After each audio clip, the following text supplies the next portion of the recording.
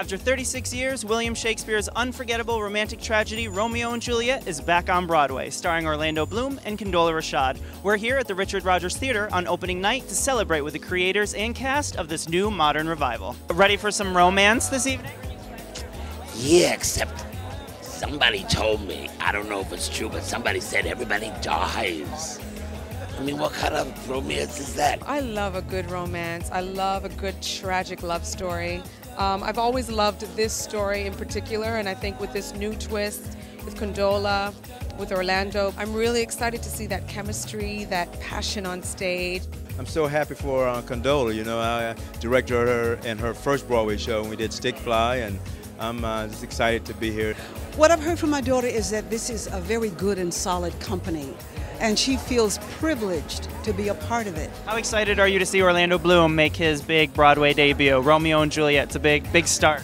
It's always exciting when a high-profile actor, particularly someone of Orlando's caliber, uh, takes the plunge.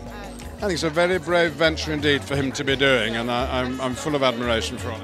Big fan of him as an actor, and I think he's going to crush it tonight. I've, I've heard amazing things. Anytime you have, you know, actors coming from different mediums to the to the Broadway stage or just you know, the boards in general, it's a good thing because here, it's where it's at. It's where you got to put the work in, and I'm excited to see what he brings.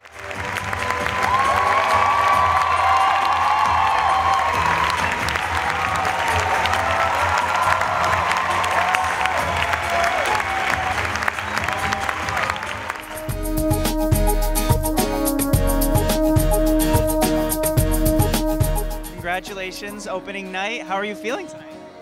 I feel fantastic. I feel um, very lucky, fortunate. I feel kind of amazed and um, bewildered. It just feels really great, and the, the, the, fact that my cast is here, we just we've worked so hard. We've worked so hard. We worked together so hard, and so the fact that we made it to opening night feels really good. When opening night comes around, oh, the skin is tingling, the energy is off the charts. So I'm, I'm very, very happy, on top of the moon. Shakespeare has many, many specific challenges, and, and just when you think you sort of met one of them, that he brings up a whole bunch of others.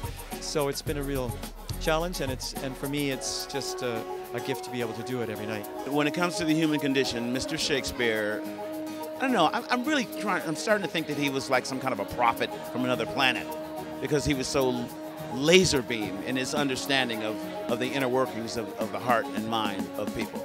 I think William Shakespeare wrote it for his youth generation, and so we're bringing it to the youth of, of New York, and indeed, you know, internationally there seems to be a lot of people coming. So it's it's a, it's a really really amazing. It's the most fantastically passionate drama against uh, living in a world of hate.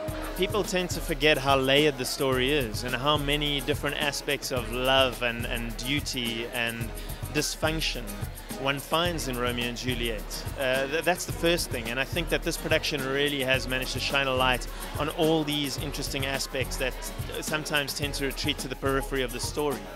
So I think that's a real, real achievement. Tell me a little bit about your visionary director, David Leveaux. How has he?